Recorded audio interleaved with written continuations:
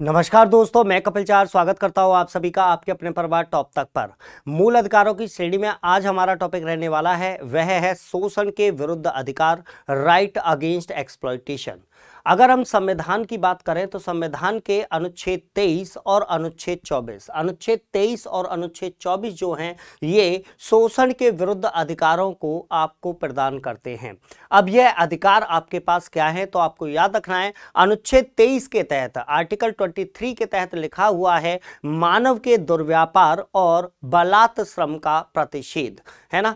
अगर हम अंग्रेज़ी में बात करें तो इसको हम लोग कह देंगे basically prohibition of traffic in human beings and forced labour मानव के दुर्व्यापार और बलात् श्रम के प्रतिषेध का मतलब क्या है? मानव के दुर्व्यापार से मतलब होता है कि किसी भी व्यक्ति की, किसी भी इंसान की खरीद फरोख्त नहीं की जा सकती और बलात् श्रम का अर्थ होता है, जिसे हम लोग कह देते हैं ज़बरदस्ती काम लेना, या इसको आप कह सकते हैं बेगार। ठीक है? बेगार भी आप इसे कह सकते हैं। आपको एक चीज़ याद रखना है कि आपके संविधान का अनुच्छेद तेईस जो है, वो आपसे कहता है कि किसी भी इंसान की या व्यक्ति की खरीद फरोख्त नहीं की जा सकती और ना ही किसी व्यक्ति से ज़बरदस्ती कार्य कराया जा सकता है या कि जब किसी भी व्यक्ति से बेगार नहीं ली जा सकती। इसके ऊपर रोक लगाता है अनुच्छेद तेईस। आपको एक और चीज़ याद रखना है, लेकिन इसमें एक अपवाद भी जुड़ा हुआ है।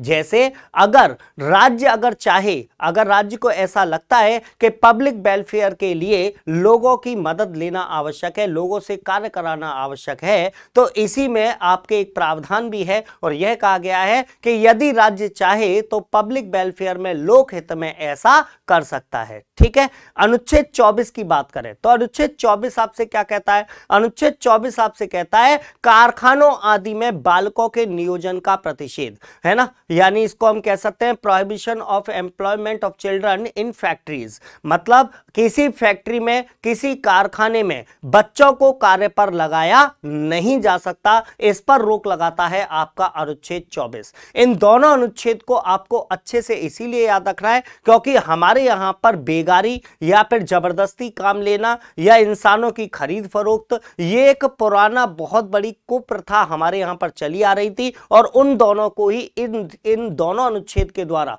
अब क्या कर दिया गया है? समाप्त कर दिया गया है। यदि आपको वीडियो पसंद आई हो तो इसे लाइक और शेयर करना मत भूलिएगा। चैनल को सब्सक्राइब करना मत भूलिएगा। वेल आइकन दबाना मत भूलिएगा। जय हिंद, जय भारत।